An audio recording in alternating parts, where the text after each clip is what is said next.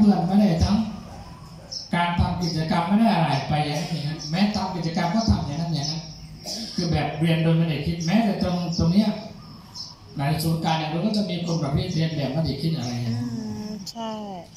เพราะถ้าหากว่าเป็นลักษณะอย่างนั้นเนี่ย คนแบบนี้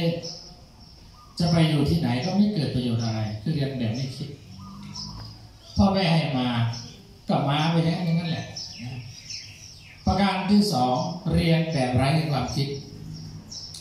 เรียนแบบไร้ความคิดเนี่ย ก็คือมาเรียนเข้าเรียนเข้ากิจกรรมอะไรอยู่แต่ความคิดที่จะต่อเติมในสิ่งที่ได้รับรู้จากครูเนี่ยมันมันไม่มี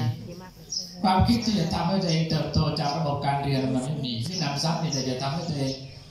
ต่ำลงต่ำลงไปเรื่อยๆเราก็จึงมองออกเด็กประเภทนี้ส่วนมาก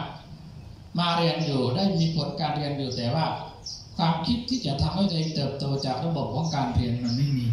มีแต่ความคิดที่เรียนไปตามรูปแบบเฉยๆครูให้ทำการบ้านกับทำครูให้ทำงานกับทำทำเสร็จความรู้ที่เกิดจากการทำงานเหล่านั้นมันไม่มี บุคคลประเภทนี้นี่ตอนนี้เนี่ยมันอยู่ในโรงเรียนประมาณ 80เปอร์เซ็นต์เลยนะอืมเออเยอะเลย เยอะเลย เรียนแบบไร้ความคิดนี่เยอะ แม้นใช้ความคิดก็ใช้เพียงความคิดแค่นิดเดียว ตรงนั้น เช่นครูให้ทำกิจกรรมตัดกระดาษอะไรก็ทำก็มีความคิดแค่ตัดกระดาษเสร็จตรงนั้น แล้วก็ไม่ได้ต่อความคิดอะไรออกไปเลย ตรงนี้มันก็สมือนหนึ่งต้นไม้ที่ปลูก แล้วก็มันมันไม่มีการเติบโตมันแค่แกรนไปเรื่อยๆไปเรื่อยๆจนในที่สุดมันก็แห้งมันก็ไม่สบายตาไม่สบายใจไม่มีการเติบโตอะไรทั้งนั้นแบบนี้ ประการที่สาม เรียนโดยใช้ความคิด พวกนี้เนี่ยก็จะมีความคิดของเขาอยู่ว่า เขาเรียนมาเนี่ยเขาต้องการอะไร เขาจะใช้รูปแบบของการเรียนเนี่ยไต่เต้าต่อเติมตัวเองเป็นยังไงแม้แต่คนที่เรียนในสกรอย่างนี้เนี่ยก็จะมีความคิดต่อเติมตัวเองทำยังไงตัวเองจะมีความรู้ ไม่มีทุนที่จะไปเรียนในต่อในระบบเนื้อเรียนนอกระบบเขาก็สามารถต่อเติมตัวเองง่ายนั่นแหละการเรียนแบบมีความคิดวันนี้เราก็ได้ยินข่าวว่า